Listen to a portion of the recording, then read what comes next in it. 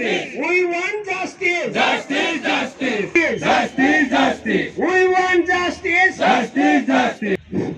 মাননীয় আমাৰ প্ৰশাসনিক আহ, আৰক্ষী আহ, বি- আহ, বিভাগৰ আমাৰ এ ডি চি পি মাননীয়া বাইদেউ মহোদয় আৰু আমাৰ আৰক্ষী অ চি দিছপুৰ আহ, ৰূপম হাজৰিকা মহোদয় আজি আমাৰ সদৌ নতুনকৈ পদ প্ৰাধিকৃত মধ্য ইংৰাজী বিদ্যালয়ৰ চতুৰ্থ বৰ্গৰ কৰ্মচাৰীসকলৰ অৱস্থান ধৰ্মঘট কাৰ্যসূচী ৰূপায়ণ কৰা হৈছে।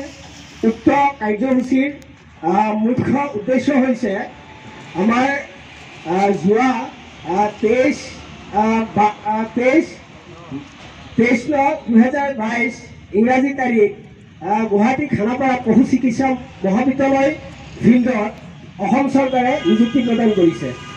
কিন্তু নিযুক্তিখিনি দিয়াত আমি অবাক হৈছোঁ কাৰণ দুহেজাৰ ওঠৰ চনৰ আইন অনুসৰি আমাৰ আমাৰ সদৌ নতুনকৈ পদ প্ৰাধিকৃত মধ্য ইংৰাজী বিদ্যালয়ৰ চতুৰ্থ বৰ্গৰ কৰ্মচাৰীসকলক যিখিনি ক্ৰাইটেৰিয়া অসম চৰকাৰে বান্ধি দিছিলে সেই ক্ৰাইটেৰিয়াখিনি সম্পূৰ্ণ হোৱাৰ পাছতো আমাক আঠ হাজাৰ টকাৰ মাত্ৰ ফিক্স পে এটা দিছে। যিটো আমাক অসম চৰকাৰে দিব নোৱাৰে এইটো আমাৰ লগত বহিৰ্মমূলক নীতি প্ৰদান কৰিছে।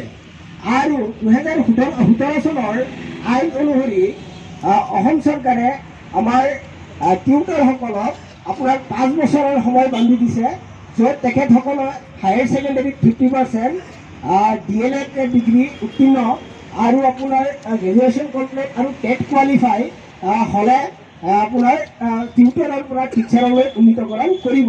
কিন্তু আমাৰ দুহেজাৰ ওঠৰ চনৰ আইনত ক'তো লিখা নাইকিয়া যে আমি পাঁচ বছৰৰ ভিতৰত বা তিনি বছৰৰ ভিতৰত কিবা আমাৰ ক্ৰাইটেৰিয়া সম্পূৰ্ণ কৰিলে আমাৰ চাকৰিখিনি অসম চৰকাৰৰ নিয়মীয়া পদত উন্নীতকৰণ কৰিব। সেইকাৰণে আমি কি আশাত থাকিম? তাৰ কাৰণে আমি তাৰ কাৰণে আমি আজি মাননীয় মাননীয়া কামৰূপ মহানগৰ জিলাৰ এ ডি চি বি বাইদেউ মহোদয়াৰ জৰিয়তে অসম চৰকাৰৰ মাননীয় মুখ্যমন্ত্ৰী শ্ৰী হিমন্ত বিশ্ব শৰ্মা ডাঙৰীয়া মহোদয়ক আৰু আমাৰ অসম চৰকাৰৰ আহ, শিক- আহ, শিক্ষামন্ত্ৰী মাননীয় শিক্ষামন্ত্ৰী ডক্টৰ ৰমেশ পেগু মহোদয়ক আৰু আমাৰ অসম চৰকাৰৰ শিক্ষা বিভাগৰ মুখ্য উপদেষ্টা ননীগোপাল মহন্ত মহোদয়ক আহ, কৰযোৰে অনুৰোধ কৰোঁ যে অহা এপ্ৰিল মাহৰ আগতেই আমাৰ সদৌখন নতুনকৈ পদ প্ৰাধিকৃত পোন্ধৰশ ঊনচল্লিছজন চতুৰ্থ বৰ্গৰ কৰ্মচাৰীসকলৰ পদখিনি নিয়মীয়া পদত উন্নীতকৰণ কৰি দিয়ে যেন। আৰু আমাৰ সদৌ অসম নতুনকৈ পদ প্ৰাধিকৃত মধ্য ইংৰাজী বিদ্যালয়ৰ চতুৰ্থ বৰ্গ কৰ্মচাৰীসকলৰ মৃত্যুবৰণ কৰা নাইবা অৱসৰ লোৱা সতীৰ্থসকলক আছে। সতীৰ্থসকলক দহ লাখ টকাৰ আহ, প্ৰদান কৰি সেই পৰিয়াললৈ আপোনাৰ সোণালী বাট বাটৰ আহ, কৰি দিয়ক। আমাৰ মূল বিষয়টো হৈছে অসম চৰকাৰৰ শিক্ষা বিভাগে বিগত তেইছ ন দুহেজাৰ বাইছ ইংৰাজী তাৰিখে উচ্চ প্ৰাথমিক বিদ্যালয়ৰ পোন্ধৰশ ঊনচল্লিছ ঊনচল্লিছজন চতুৰ্থ বৰ্গ কৰ্মচাৰীসকলৰ পদখিনি প্ৰাধিকৃত কৰে।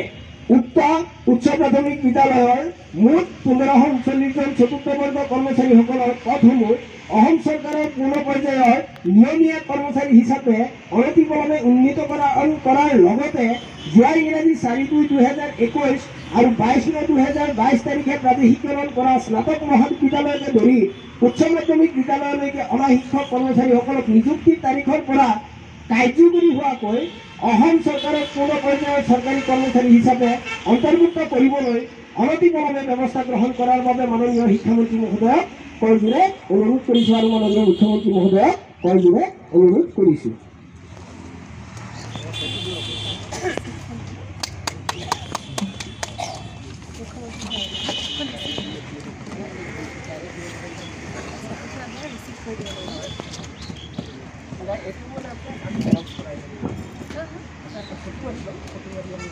মই ৰিচিভ আমাক মেইন ৰিচিভ কৰি এখন ৰাখক ৰিচিভ কৰি এখন। আপোনালোকে জেৰক্স নাই নেকি আমাক যে দিছিলে এখন এইটো কি হ'ল? মুখ্যমন্ত্ৰী ছাৰহঁতে যোৱা সময়ত মই কেনেকৈ চহী কৰিম নাযাব ন এইটো এনে- এনেকুৱা আপোনালোকে জেৰক্স কৰিছিলে নহয়? জেৰক্স দিয়ক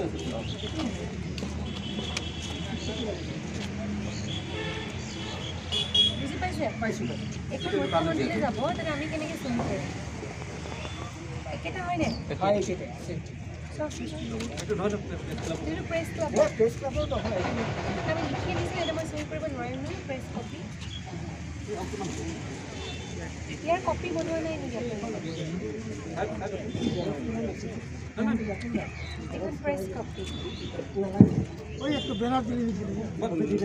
হ'ব দিয়ক এই দুইখন যাব নেকি দুইখনে বেলেগ বেলেগ নেকি হাজৰিকা তেওঁলোকে কপিয়ে নানে এখন আপুনি শিক্ষামন্ত্ৰীক দিছে আৰু এখন দিছে মুখ্যমন্ত্ৰীক ন? এই দুখনত তাৰমানে আমি চহী কৰিব নোৱাৰিম ছাৰসকলে যাবতো আমি আপোনালোকে জেৰক্স দিলে তাতে আমি ৰিচিভ কৰি দিম। জেৰক্স যিহেতু নাই এতিয়া এটা কাম কৰক উম, এই দুখন আমি প্ৰেৰণ কৰি দিওঁ ন?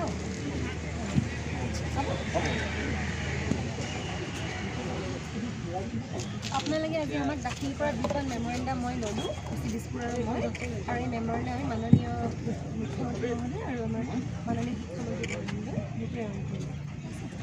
আপোনালোকেতো বুজি ভুল হৈছে। প্ৰেছ ক্লাবত তাৰমানে আমি চহী কৰিব নোৱাৰোঁ। একো নাই হ'ব জেৰক্স কৰি চিক কিবাকৈ দিয়াই দিব যদি আপোনালোকে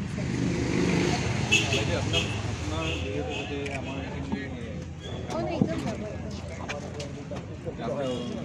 আমি আকৌ বেছি দিন এতিয়ালৈকে যাম অঁ একো নাই একদম প্ৰেৰণ কৰি দিম দেই এনেও আপোনাৰ পঁচিছ ত্ৰিছ বছৰ চাকৰি এনেকুৱা অৱস্থাত চাকৰি